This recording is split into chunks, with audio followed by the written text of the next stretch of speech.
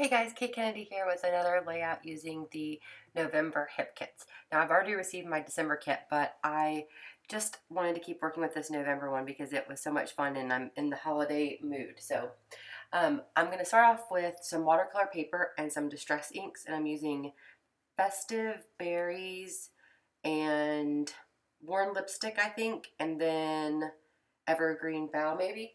Um, I decided that normally when I make cards, I'll tape down my watercolor cardstock and it keeps it from wrinkling, so or buckling, warping, whatever term you want to use. So I've decided to tape down my cardstock also. I've done this before, or my watercolor paper, and I'm just using some painter's tape, like the kind that you use to paint your house, and this craft mat, which is awesome. It's from Ken Oliver, and it is it's called the best ever craft mat, and it is the best ever craft mat. You can, it's not um it's not you can't cut on it, but you can heat it, emboss, you can, you know, do all kinds of things. And you can like fold it up and it's really cool. Anyhow, so I'm just doing the packaging technique that y'all have seen a billion times. And I've cut down a piece of my Tim Holtz craft mat to do that with. And that's what that little like tan color thing is. And I'm just putting the um, Distress ink directly onto the craft mat and then spritzing it with water this is how I always do it.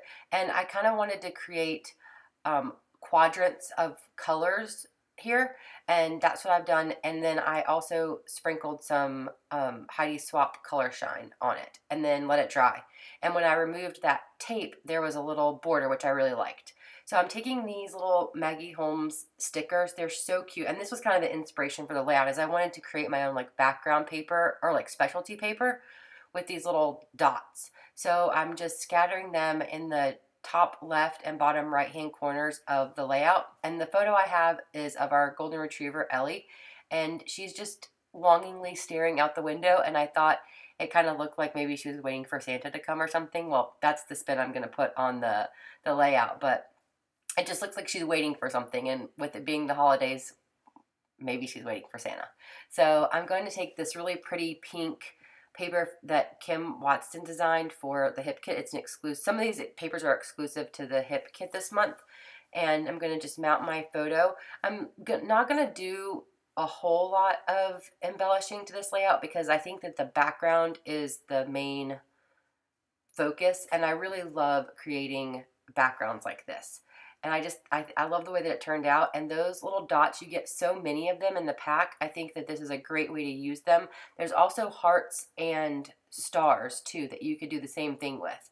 You could create several layouts with just that pack of stickers. So the bottom paper is from BasicGrey and it's really cute. It has these um, little graphic kind of trees on on it and I'm just using my ruler here to cut to cut down those papers so they have a little bit of an edge to them. But I really like that um, that tree paper. It's super cute. Just putting my layers together here. And then of course I'm going to put my photo up on some foam. I think I think I'm going to use some yeah. This is just some fun foam from like the kids section of the craft store and it's really good for mounting your photographs on because it's solid and it's very inexpensive. So you don't have to use your entire roll of, um, of foam adhesive. And then I just put some score tape on the back because I wasn't sure if that liquid adhesive was going to stick. So anyhow, now that I have that together, I'm going to put some more score tape on the back because I find that with watercolor paper, um, you need kind of a stronger adhesive than maybe just your regular tape runner. So I would recommend using like the Tombow Xtreme or score tape or something like that because it just really um, makes everything stick nicely. So now moving on to embellishing and I'm just in love with this alpha. I will use it time and time again. Um, I had to break out one from my stash to get, I think it was an S that I was out of or something like that. But Anyways, that's what I'm going to use for the title. But first I'm going to sprinkle some of these enamel dots in with all the other dots because why not? They're fun. And I'm going to do like red and pink in the red area and then like blue and green sort of in the blue and green area. I can't remember what color I used to make that blue.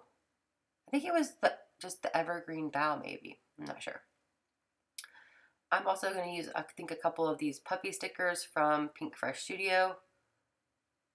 I think I'm going to fuss around with embellishments a little bit here.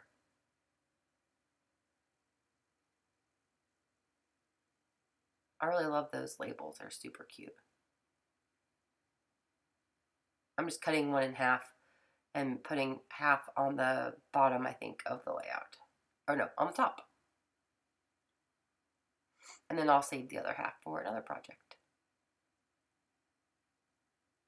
There's one of those little tags from the BasicGrey set, and they, when I did the open box, I showed showed them, and they come in silver, and I am using gold on this layout, so I just um, used a gold paint pen and made it gold which is really fun. Oh, I use this little squirrel. Isn't that cute? Just because it's, it's fun. And then I just put a little strip um, that says merry and bright over it, and then added another little sentiment that says, tis the season to be jolly. I really love that, that the ephemera pack came with those little um, like typewriter strips. I think that they're fun.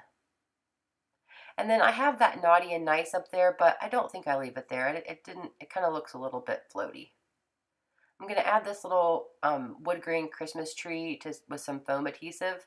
And then I think I'm going to add my title, and that pretty much is going to finish up. I think I had to move some of the um, enamel dots out of the way to put the title down because I probably should have put the title on before embellishing, but you know, I got a little excited. So if you haven't checked out the hip kit, you really should. I highly recommend it. And if you um, plan on subscribing, I'm going to have a graphic at the end here with a coupon code that if you subscribe, you can get a free pattern paper add-on. And the code is Kate. And uh, make sure to check out our Facebook group and check out the free printables and cut files every month. They're awesome. And I thank you guys so much for watching and hope you're having a great holiday season. And I'll see you guys all real soon. Thanks for watching. Bye.